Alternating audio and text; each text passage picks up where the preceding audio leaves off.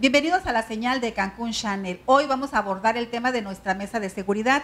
Y hoy tenemos en el estudio a dos amigas que participaron en la marcha. Vamos a hacer un recuento de las acciones del día domingo y del día lunes. Del 9 nadie se mueve. Vamos a ver qué enseñanza nos dejó, cuál es el ejercicio que hay que repetir y cómo tenemos que instruir a las demás personas que no están de acuerdo. Muchísimas gracias por su participación, Alejandra Galicia, periodista. Gracias por estar aquí, Alex. Gracias por invitarme una vez más. Muchas gracias, eh, encantada de estar aquí con ustedes. Y la activista Luz Sánchez.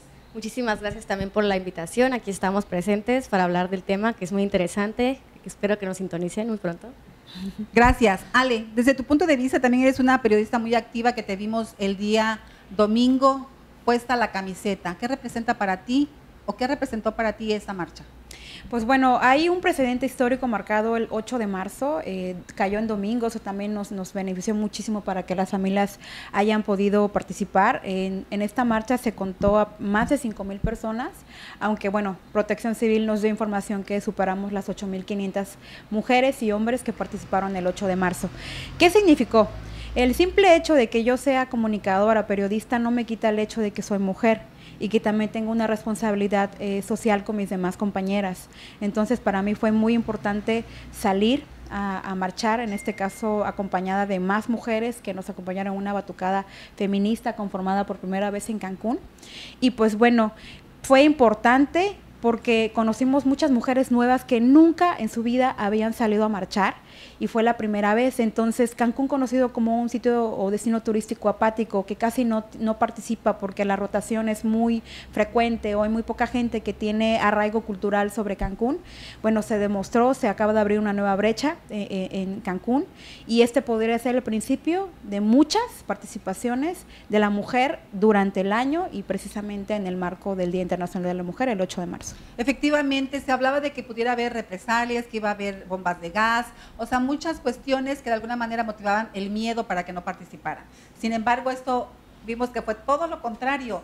Tú como joven, y bueno, te veo también muy aguerrida, muy metida, ¿qué representa para ti eso y que más mujeres, en especial jóvenes, hayan participado, señoras de la tercera edad en silla de ruedas, que estuvieron ahí mostrando su apoyo al movimiento feminista? Bueno, desde, desde mí como mujer, activista, abogada, defensora de los derechos humanos, es una experiencia inigualable. Hicimos historia, más que nada porque esta lucha es de todas, no tiene partido, no tiene color, no representa ninguna asociación en, distinta o en específico, es de todas las mujeres y para todas las mujeres. Hay muchas que no salieron a marchar seguramente, pero nos estuvieron viendo desde redes sociales, tal vez en las fotografías, y muchas también siguieran preguntándose por qué y para qué, qué hacíamos ahí. Pero las emociones que se movieron fueron demasiadas, o sea, yo estaba muy emocionada, incluso ver a mis compañeras llorar, gritar, o sea, con todas las ganas, con todos los ánimos, con toda la frustración por ese sistema que nos está agrediendo, que nos violenta, es este es canalizar a la acción colectiva lo que necesitamos. Ale, platícanos, eh, ¿cuál es la reflexión que nos deja esta marcha? Además de que si con esto se visualiza más el problema de los feminicidios, ¿cuál es la exigencia de acabar con la violencia cuando vemos que a veces las autoridades no están haciendo debidamente los protocolos de seguridad para las mujeres? Pues bueno, es un tema que ya se ha hablado desde el año pasado, en esta misma mesa ya se ha hablado. Y bueno, quisiera puntualizar el, el, trabajo y el esfuerzo que hicieron más de 28 colectivos en Cancún, que por primera vez se hacen eh, alianza para trabajar juntas y crearon un posicionamiento bastante directo y claro a las autoridades, tanto a las, a las autoridades investigadoras, eh, a los tres órdenes de gobierno. El pronunciamiento fue bastante puntual para que se investiguen con perspectiva de género todos los feminicidios que ocurren en Quintana Roo, principalmente los destinos turísticos que tienen una alza desde 2017 a 2019 en asesinatos contra mujeres, que no precisamente se están investigando con las características de tipificación de feminicidio. También se hizo bastante puntual eh, la responsabilidad del Estado en cuanto al tema de la alerta de género que sigue pendiente para las mujeres de Quintana Roo. Y también se eh, pusieron temas a los medios de comunicación para cómo pudiéramos... En el manejo nos, de la información. En el manejo de la información, Tony porque es. El respeto a las víctimas. Exacto, el respeto a la dignidad de las víctimas. Eh, evitar esto que ha estado pasando en México, que se filtran las fotografías de las víctimas con una cantidad de violencia que no debería ser vista por nadie, menos por las familias de estas personas. Y pues bueno, el, el pronunciamiento fue claro, exigencia, este, vigilancia, ese fue el mensaje clave de este pronunciamiento. Este pronunciamiento dice claramente que hay muchas mujeres y colectivos en Cancún precisamente que van a estar vigilantes. El mensaje fue de vigilancia, que nosotras estamos pendientes de qué se está haciendo, cómo se está haciendo, con qué presupuesto, quién lo está liderando, quiénes no están trabajando en ello. Y pues bueno, el pronunciamiento, eso fue lo que realmente quiso plasmar y fue escuchado por más de 5 mil mujeres que estuvieron ahí presentes, por primera vez algunas de ellas. Y pues bueno, precisamente ese ejercicio fue el precedente histórico que hizo la diferencia a comparativa del año pasado y los años anteriores en Cancún, donde normalmente no es frecuente que la gente salga a marchar, Tony.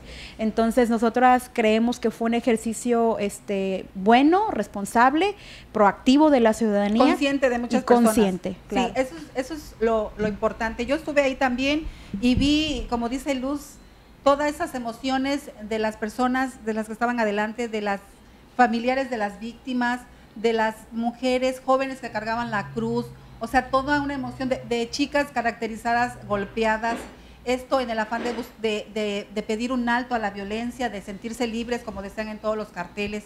Y la verdad, bueno, la, todas las emociones estaban a flor de piel ahí, aunque había momentos de, tranquilidad.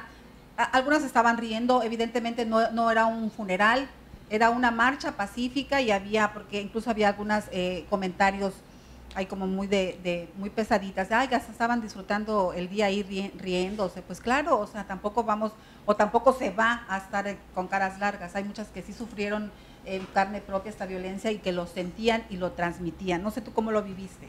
Pues desde mi perspectiva personal, yo incluso está, estoy enferma y el hecho de, de estar ahí, de sentir todas las emociones es olvidarme de lo que tenía y empezar a gritar y a sacar y a canalizar toda esta energía toda esta, todo este fuego interno que tenemos como mujeres de decir ya estamos hartas, ya no queremos más violencia, ya queremos que la justicia como debe ser sea pronta y expedita. Es así, lo estábamos diciendo, lo estábamos gritando, lo estábamos llorando, estábamos riendo, o sea, sabemos que todas las mujeres se manifiestan y se expresan de diferente forma y todas las formas de expresarse son válidas. Claro.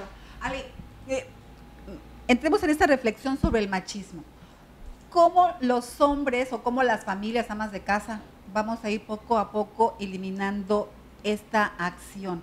Porque aún se habla de que hay algunas madres que todavía siguen fomentando el machismo, ¿no? A ver, sírvele a tu hermano, eh, espérate, tú no hagas nada, ¿no? ¿Cómo desde el hogar vamos a cambiar esta, esta visualización? Pues mira, en este ejemplo te puedo dar eh, la marcha, por ejemplo, a mí me tocó observar miles de madres de familia que fueron acompañadas por sus hijas, sobrinas, nietas. Este primer ejercicio es importante porque abre eh, la mente de las personas que por primera vez estuvieron ahí eh, participando en una marcha. ¿Cómo podemos trabajar la parte de las familias? Bueno, yo considero que primero se tiene que trabajar en las masculinidades, en las nuevas masculinidades. En los hombres. Explícanos para que nos las, nuevas las nuevas masculinidades plantean un nuevo enfoque de, perspectiva, eh, en este caso de género, para los hombres, para que visualicen sus violencias, los micromachismos que ellos aplican todos los días, en el trabajo, en la academia, en, en la sociedad en la calle. En la calle. Y bueno, había una de las consignas que gritaban, eh, el, el, piro, el, piropo es acoso, ah, ¿no? Entonces, esas pequeñas acciones de los hombres, inferir que solamente las mujeres pueden preparar alimentos y hacer el cuidado del hogar, es uno de los planteamientos que esta nueva masculinidad hace. Los hombres pueden cocinar, los hombres pueden este, hacerse cargo del sustento familiar, pero también de los cuidados de la, del hogar, también pueden atender a los enfermos y a las personas que necesitan su ayuda, también pueden ir a trabajar. Pueden cambiar el rol también. cambiar el rol. El chip es, mental y esto es un proceso personal, porque a mí me ha tocado ver muchos este, hombres que lo intentan, pero no tienen una guía específica para poder saber si lo están haciendo bien. Yo le invitaría a todos estos hombres que tienen dudas, porque sí existen también los hombres que nos están ayudando en esta lucha. Nos ayudan los hombres en esta lucha dejando de permitir que violenten a otra mujer en su cara o enfrente de ellos. Nos ayudan también cuando eh, pueden ser equitativos en la distribución del hogar, en, en la economía, donde pueda repartir. Que todos puedan aportar económicamente, pues para el gasto y para todas las necesidades de, de una familia. Claro, y las mujeres en este caso también replantearse su violencia, ¿no? Porque hay muchas mujeres que tienen machismo internalizado. Esto significa que no están conscientes de ese machismo y son ejercicios muy básicos como inferir que la mujer de la casa, no importando quién integrante de la familia, tiene la responsabilidad obligada de hacer los alimentos para los varones de la casa. Es un ejemplo muy sencillo y, y normal en las familias mexicanas, pero a través de esas nuevas enseñanzas, replantearlas, reenfocarlas, es como podemos ir trabajando poco a poco. Es como ir compartiendo esas tareas, o sea, igual como, como mujer puede decir, bueno, sí lo hago, pero ayúdame a preparar los alimentos, ayúdame a servir y compartimos esa tarea, esa, esa, esa, obligación. No solo es responsabilidad de la mujer o de la niña en ese momento hacer todo mientras los demás están sentados o haciendo otras cosas. Claro, claro. Y bueno, en este caso eh, sería siempre estar en, familia y platicando estos temas, divulgarlos y siempre hacer un análisis real, porque ha pasado mucho que primero prejuicias y luego analizas. Entonces, los análisis tienen que estar basados en de verdad un análisis eh, mental y no un prejuicio, porque hay mucha gente que estuvo en la marcha son gente que se dio la oportunidad de no prejuiciar se dio la oportunidad de estar en una marcha, escuchar las voces, darse cuenta que esta, esta eh, actividad no está patrocinada por ningún partido político, se pudieron dar cuenta que se organizaron un montón de mujeres que incluso ni se conocían, se conocieron ahí, se abrazaron ahí, lloraron ahí, gritaron ahí. Entonces, por esos primeros ejercicios sociales en los que tú puedes ir a participar y comprobar que las cosas son reales, sería el primer ejercicio para poco a poco acercándose a destruir lo que podría ser una estructura machista. Sí, ve por ahí en algunas redes algunas frases que me gustaron, como somos el corazón de las que ya no laten, o sea, de todas aquellas mujeres, niñas que ya no están y que sus madres, sus familiares fueron a llorarles. Exactamente. Sí, incluso esta frase reflexiona mucho de quiénes estábamos ahí. Está, somos la voz de aquellas que ya no pueden gritar. ¿Por qué? Porque las callaron, porque no las dejan hablar, porque aún siguen sometidas a esto, lo que es el machismo. Como comenta este, la compa Ale, o sea, el machismo también se empieza en casa, lamentablemente con cositas que minimizamos como el dábale esto a tu hermano porque es tu hermano, porque tú eres la mujer, desde ahí empezamos con los micromachismos y los normalizamos. Claro, pero bueno, hay que dar un poquito también de números para que la gente entienda por qué estamos saliendo a la calle, ¿no? En nuestro pronunciamiento fuimos muy claros, eh, estamos hablando de un pronunciamiento que se trabajó con 28 colectivas, muchas de ellas plantearon las propuestas que tienen por sector, porque hay algunas que trabajan enfocadas feministas al medio ambiente, feministas enfocadas a la política pública, a la salud, a la educación, a los derechos sexuales y reproductivos, a la violencia de género, a la perspectiva de la paz, o sea, cada una colocó su perspectiva dentro de este pronunciamiento. Y bueno, también les dimos información a la gente que les permitiera entender y dimensionar la problemática, por lo menos de la zona norte, que es donde se ha visto un poco más de revuelo. Nosotros entregamos datos oficiales de la Fiscalía General del Estado, en la que, bueno, he solicitado información directa a la Fiscalía, un poco bajo el número, me, parece, para decir verdad, pero bueno, el número existe. De 2017 a 2019 son 108 asesinatos de mujeres, entre culposos y la otra modalidad, eh, dolosos. Son dos. Dolosos que están eh, donde están los feminicidios. Exacto, en los dolosos es donde entraría eh, la parte de los feminicidios. Y lo más interesante es que de 2019, que se contabilizaron para la Fiscalía, en la, principalmente en la zona norte, 47 asesinatos, de los cuales son reportados al sistema ejecutivo del sistema, el secretario ejecutivo, del, Estado, del sistema nacional, perdón, solo 16 feministas. Estamos hablando de 47 asesinatos reportados, la mayoría dolosos de mujeres aquí en, en la zona norte, de los cuales se tipifican solo 16. Y bueno, aquí han venido organismos internacionales como Amnistía Internacional, por ejemplo, que fue una de las más recientes, que dijo claramente que el problema de Quintana Roo era la falta de tipificación del delito de homicidios, que para la, autoridad es más fácil tipificar los dolosos o culposos y enviarlos a un proceso de carpetazo, no investigar más, que meterle un trabajo de perspectiva de género, revisar si no había violencia, si esta mujer ya había puesto una denuncia, como es mucho de los casos que suceden aquí en Quintana Roo. Entonces, la problemática para que no suene como una exageración. Realmente está pasando, los números están pronunciados,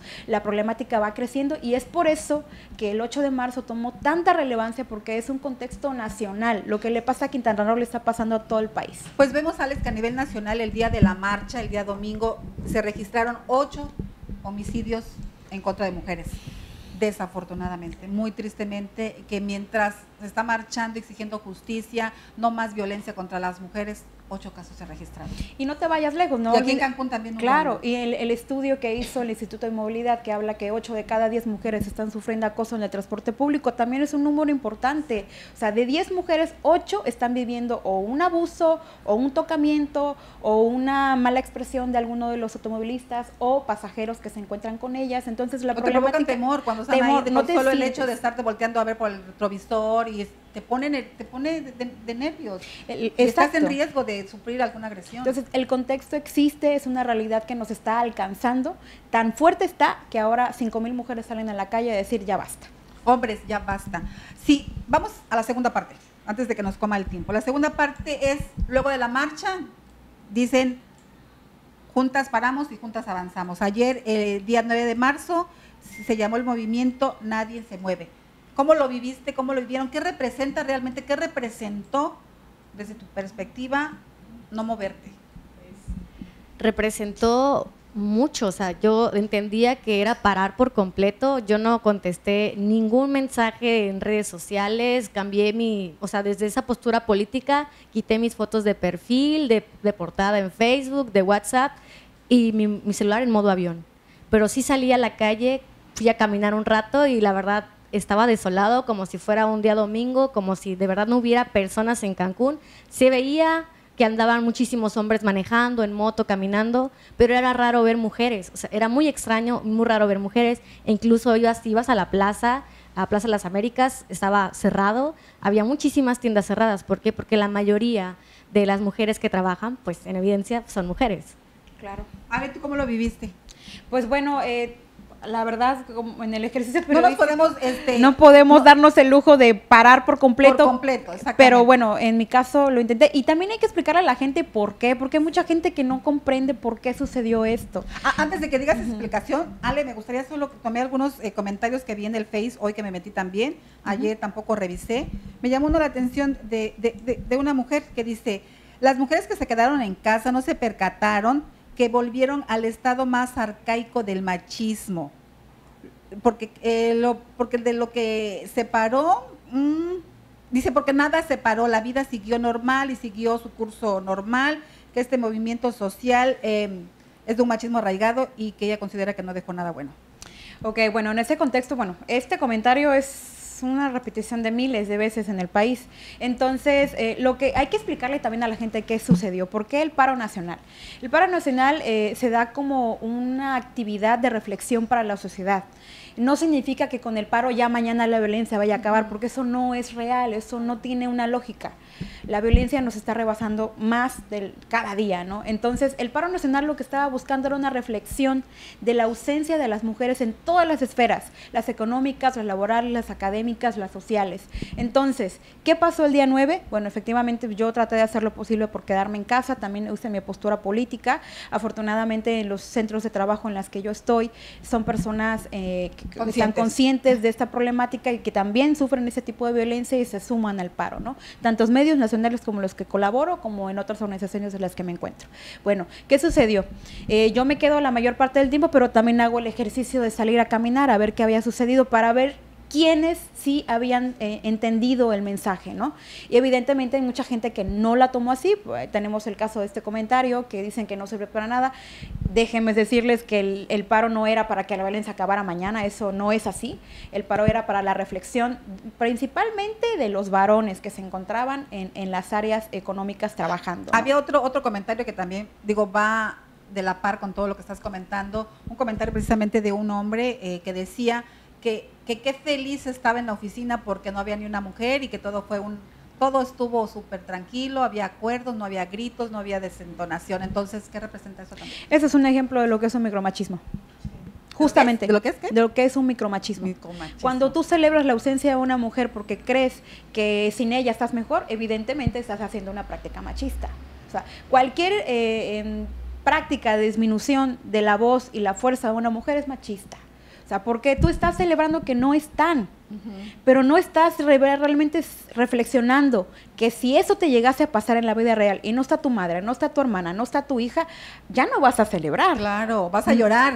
Claro, vas entonces a llorar la ausencia de, de- de las mujeres, de tus mujeres, de tu casa. Claro, y yo, bueno, pa- eh, me di la tarea de brevemente salir tratando de cumplir el paro, pero también haciendo un poco de ejercicio visual para ver qué había sucedido. Y evidentemente observé muchos varones trabajando que tuvieron que sacar la producción. Yo creo que los más afectados ah, eh, ah, ah, fueron aquellos comercios donde casi el 60% era mujer. Eh, me tocó ver algunos centros, no, no podemos decir marcas, ¿verdad? Sí, ma- sí, Ok, me tocó ver algunos este, eh, plazas comerciales eh, que, donde venden ropa, por ejemplo, cerrados. ¿Por qué? Porque la nómina de esa empresa es mujer. Estamos también viendo algunas dependencias de gobierno municipal y estatal que tuvieron que cerrar que el porque 80%, 80% las son mujeres, mujeres. están enfrente en la atención al público. Entonces, eh, por ejemplo, lo de emplacamiento probablemente no fueron mujeres. Los del ayuntamiento evidentemente tampoco fueron mujeres y hubo actividades en las oficinas que no se pudieron concluir por la ausencia de estas mujeres. Algunos Pero otros- muchos las entendieron, Alex. Decían, bueno, está bien, eh, no nos dieron atención, venimos mañana. Porque Sin sí problema. saben el contexto de lo que está pasando. Claro, y bueno, en algunos lugares como comercios establecidos de comida es donde yo vi más este, profunda la, a la reflexión de los hombres porque yo incluso me acerqué a uno de ellos y los conté, eran como 12. Y 12 muchachos de un centro de, de conveniencia para, para comer, comida rápida. Y entonces él me hablaba que eran casi 20. O sea, y, y- y consiguieron 12 para ese día. O sea, prestaron hombres para traer eh, en ese día a, a- a lo de para que pudieran Claro. trabajar y sacar la producción. Pero realmente había más mujeres ahí. Entonces yo le preguntaba al compañerito, un joven que no pasa de los 20 años, le digo, oye, ¿y cómo te sientes? Pues trabajé más, entonces sí, o sea, el chico se da cuenta que evidentemente el trabajo que hace su compañera y las otras compañeras abonan a que su trabajo sea menos pesado. Claro. Entonces, de alguna manera el mensaje sí está inmerso en ellos, a lo mejor no de manera directa, pero sí indirecta, que también propicia la reflexión Sí. sobre, sobre la participación de las mujeres en todas las esferas del, del país. Así es, bueno tu comentario, Ale. Pero también me gustaría que antes de, de que entráramos al aire, me comentaba Luz, que, que ahora las nuevas generaciones también deben de conocerla, pero también hay que saber hacia dónde se, cómo se está dirigiendo a las, a las nuevas generaciones, Ale, porque eh, sí, se están empoderando, pero de repente como que veo chicas muy agresivas, muy a la defensiva, ahora es lo mío, ahora es... Tampoco hay que verlo como revanchismo, ¿no? Sino que sea una educación ad hoc, de acuerdo, para buscar esta equidad y este equilibrio. ¿Crees que se, esté, que se pueda lograr con esto? Sí, claro, siempre hay que apelar a la cultura de la paz, todo con diálogo, mediación, no es necesario llegar a la violencia. La violencia siempre va a traer más violencia. Evidentemente hay diferentes formas de lograr acuerdos, pode- podemos dialogar, podemos mediar. Tal vez tengamos diferentes formas de pensamiento, sin embargo hay que recordar que una cosa es la libertad de expresión y otra muy distinta es el discurso de odio, porque cuando yo tengo un derecho, pero también mi compañero o compañera tienen derecho, y eso no me, a mí no me da el derecho de transgredir su derecho a la otra persona. Pues bueno, ahí haría un comentario, eh, incluso que han, han divulgado otras feministas en el país y que recientemente, hace como una semana y media o dos, re- refirió también la secretaria de Gobierno este, Sánchez Cordero. Y pues bueno, ella dice, y todas las feministas dicen que todos los feminismos y expresiones feministas son válidas, todas, y todas son necesarias todas, las que son eh, a través, por ejemplo, de cánticos y consignas, las que hacen políticas públicas, las que hacen plantones y performance, las que también hacen eh, rayones en los monumentos, todas las manifestaciones de feminismo o feministas, las corrientes feministas, son válidas y necesarias para el- la, eh, la- la visibilización de la violencia contra la mujer en el país, partiendo de ese punto. Entonces, ¿es, es válido el feminismo agresivo? Pues es que no ¿O es... violento? ¿O Lo cómo? que, lo que se ha Porque dicho... eso también como que medio se confunde, porque luego dicen entonces, bueno, las mujeres que están peleando, ¿cuál es su, su protesta real? O sea, ¿quieren ser más que los hombres o como hay que visualizar eso también, porque entonces es cuando se enfrentan hombres y mujeres. Es cuando hay esa guerra yo creo que ahí también debemos de, centrarnos y decir, a ver, a las nuevas juventudes, a las a las nuevas generaciones. No es así el tema. Claro, eh, bueno, a lo que refiero con esto es, como ya dije, todas las expresiones son necesarias y son válidas. Partiendo de ese punto, en el caso específico de aquellas que se han hecho bastante virales, por ejemplo las de la Ciudad de México, podría yo argumentar en, en, la visión periodística, porque nos toca verlas, nos toca cubrirlas y pues a veces puede llegarse a salir de control, es, es una realidad. Eh, podría decir yo que em, este tipo de acciones, las más dramáticas, las que están prestando más atención los medios, es algo que me gustaría comentar, porque en las marchas no solamente son las, los, los, transgresores o las pequeñas riñas, hay víctimas, hay historias, hay llanto, hay reconciliaciones, hay cosas muy fuertes que se tienen que visibilizar dentro de las marchas. ¿Se les prioriza la violencia en estos casos? Sí, porque pues es mediático y a la gente pues le gusta opinar y, hablar sobre Pero que mujeres contra mismas mujeres como la de la Ciudad de México, México, que se ve como el rostro de, de una mujer tira la, la bomba de incendiaria que quemó o que estaba incendiando a dos tres mujeres. Ahí, ahí yo diría que primero tendría, o sea, nosotros no somos autoridades para poder emitir un, juicio de valor, sin embargo, pues bueno, las redes sociales están opinando. Ahí me gustaría que más bien serían las autoridades quienes investigaran este caso y realmente investigar de dónde vienen esas corrientes, porque algunas están un poco más alejadas de lo que se está eh, manifestando. que fueron infiltradas. Sí. Entonces, que fueron provocar precisamente pues a a, descarrilar esta, esta marcha. A lo que quiero yo llegar es que eh, muchas veces, y porque lo hemos platicado con algunas víctimas en, en, la, en la, corriente de, entrevistas y así, es que ellas expresan, muchas de ellas expresan que este tipo de manifestaciones en las que ya vamos a pintar un monumento y, o pintan monumentos, eh, ellas dicen que es una, una reacción, una reacción al hartazgo, a la invisibilización de las autoridades y también es una acción de, fuerza, de escúchenme, véanme. A lo mejor para mucha población esto es una manera poco acertada de hacerlo, pero como repito, Todas las corrientes y expresiones feministas son válidas y necesarias, incluso la misma secretaria de gobierno lo ha manifestado así, que se van a respetar los derechos de todas las manifestaciones que se existan, porque no solamente ha sido eso, sería mentirnos si solamente decimos que la feminista ha sido así, la de 132 también ha sido así,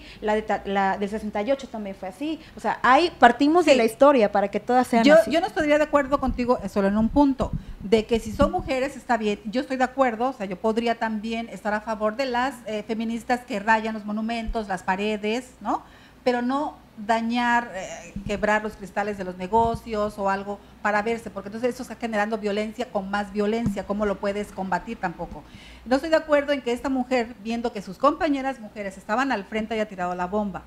Hay que investigar ahí, hay que, investigar. Es cierto que investigar, pero se ve claramente cómo la mujer, aún viendo que estaban sus compañeras o no compañeras, un grupo de mujeres protestando enfrente de una barricada de policías, tira la bomba.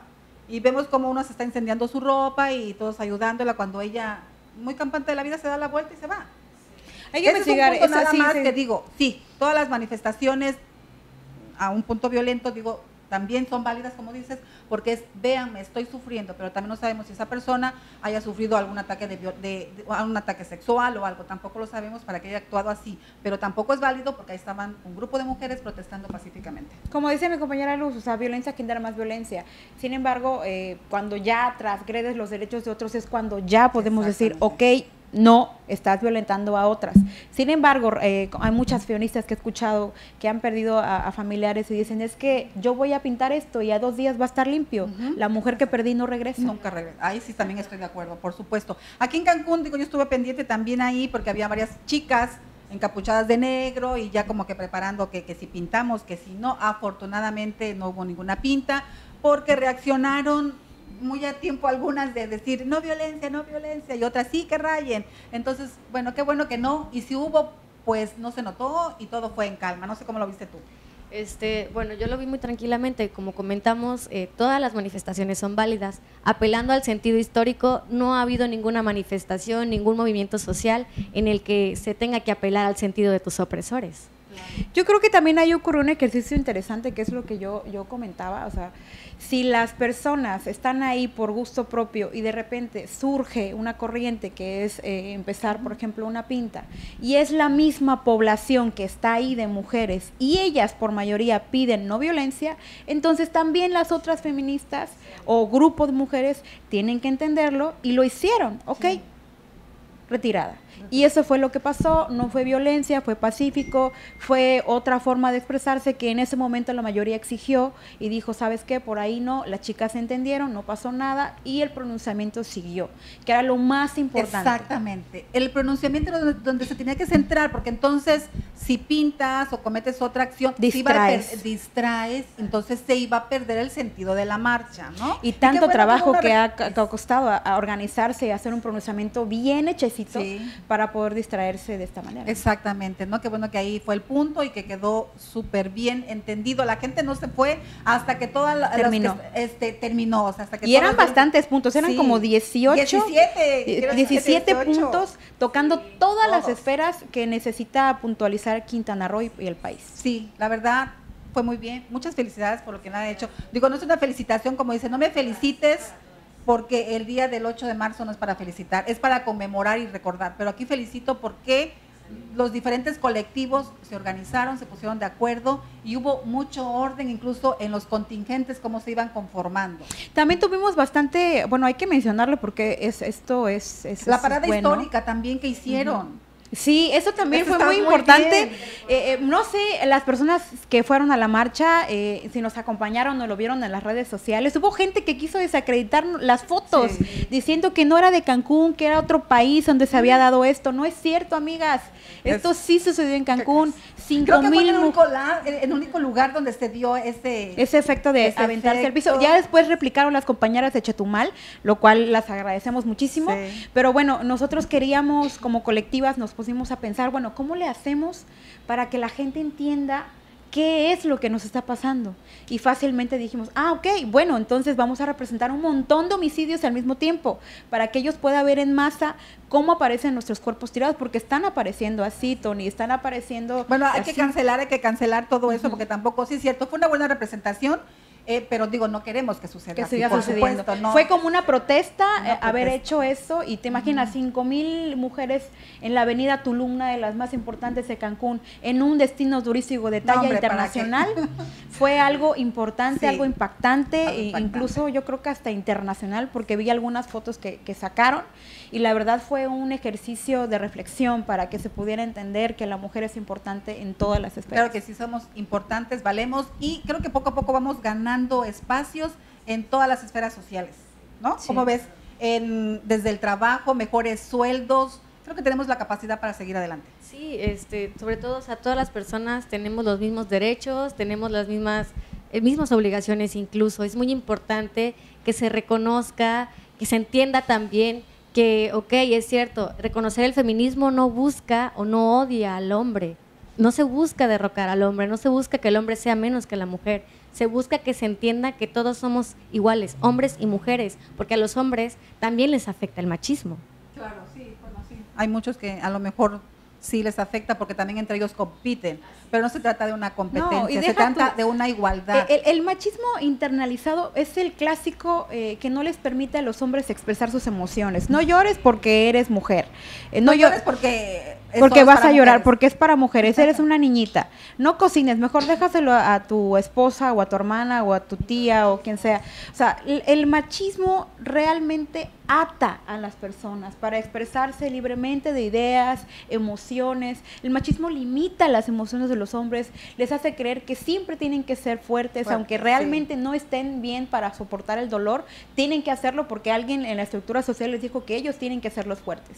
No pueden llorar, no pueden decir cuán- e incluso el Ni, machismo ni afecta- expresar sus, sentimientos reales. expresar el amor, porque si expresas demasiado amor, eres un hombre débil. O sea, el machismo Claro. hay que darse cuenta que a, a los hombres también les está afectando a niveles que ellos ni siquiera están considerando, ¿no? Y están repitiendo y repitiendo violencias y violencias que realmente no son conscientes. Ya cuando eres consciente de tus violencias, replanteas tu accionar diario.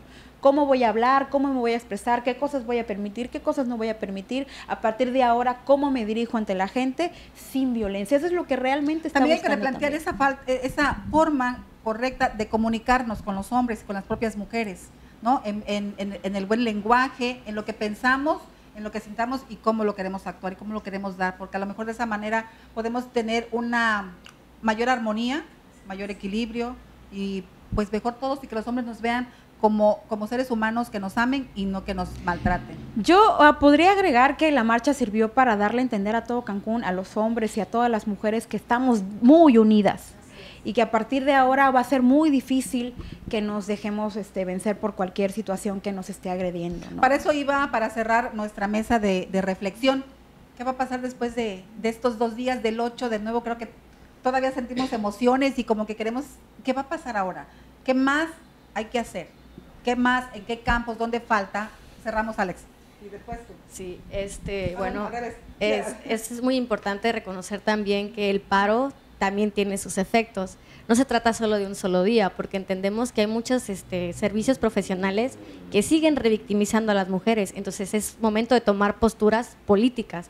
Y si una persona me está revictimizando como abogada, si un abogado me está revictimizando en algún juicio, en algún caso, ¿sabes qué? Yo tomo postura política, no regreso con este abogado y, se, y cambio de abogado con un abogado, una abogada con perspectiva de género, incluso hasta con un pediatra, una pediatra con perspectiva de género. ¿Por qué? Porque al final de cuentas les estás pagando un servicio. Eso es lo que estaba viendo hace rato en redes sociales. Es importante reconocer también, ok, paro un día, pero con estas personas es paro definitivo.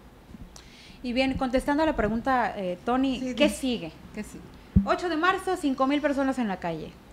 9 de marzo, nadie se mueve. ¿Qué sigue? Bueno, yo diría que a partir de esa, esa primera marcha, pues queda sólida la construcción de trabajo que se va a hacer para futuro. Hay que hacer un reencuentro, ¿no? Claro. Como algún otro tipo de foro. O sea, de aquí pueden salir muchas cosas, Ale. No dejarlo nada más ahí a ver, no, hay que dirigirlo. Puede ser un gran reencuentro de mujeres otra vez, eh, foros en la calle, no sé, muchas cosas sí, que se pueden en principio primero podría rescatar el ejercicio de sororidad. Sororidad, eh, totalmente Todo en la marcha en, general, todo lo que se dio fue una eh, como, eh, acumulación de sororidad. ¿Por qué? Porque si a mí, yo que por ejemplo que participé en una batucada con un montón de compañeras, se me caía una baqueta, ella me auxiliaba, se me caía mi pañuelo, ella me auxiliaba, tenía sed, ni siquiera conocía a la mujer y me daban agua.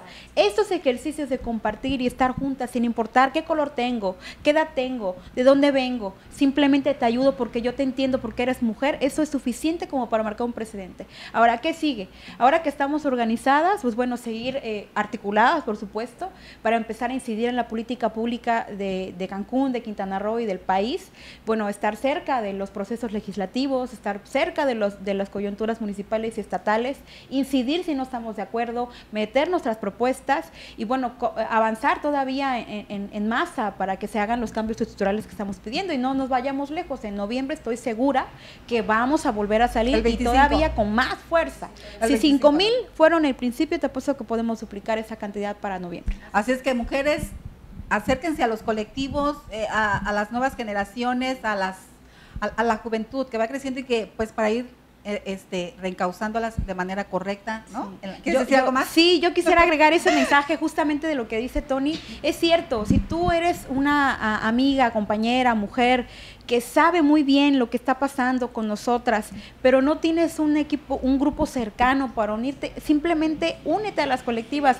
No rechazamos a nadie, a ninguna. Todas son bienvenidas para poder apoyar y expresarse con nosotras, a favor de nosotras y también por los para, trabajar por las nuevas masculinidades, que es una de las cosas que necesitamos componer. Entonces, si tú eres una de esas chicas que sabe, siente y es consciente de las problemáticas, pero no sabe cómo, no sabe dónde, acércate a los organismos este, eh, sociales a las colectivas, a la amiga que siempre ves, que siempre tiene los ideales bien puestos y defiende, acércate porque esa es la única manera que tenemos nosotras para cuidarnos. No me, no me cuida el Estado, me cuidan mis amigas. Así es, definitivamente.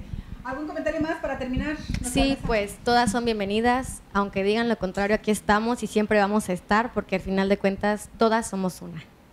Perfecto, pues amigos, espero eh, la verdad que con esto hayan entendido muchos hombres, muchas mujeres, lo que significó el 8 de marzo, el 9 nadie se mueve y la verdad que mucha, la mayoría eh, lo cumplió, a lo mejor no cabalmente porque también no hay que exentarnos de todas las obligaciones de la casa, del trabajo, pero creo que fue un buen ejercicio. El principio, un presente histórico y a partir de esto, pues ya, para adelante. Muy bien, pues muchísimas gracias. Con esto concluimos nuestra mesa de reflexión y nos vemos hasta la próxima. Gracias.